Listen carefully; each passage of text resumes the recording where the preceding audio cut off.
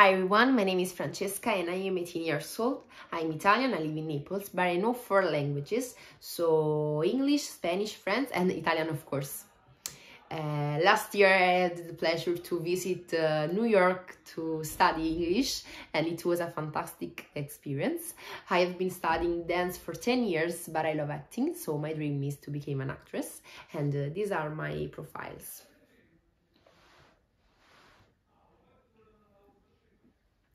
Thanks for watching.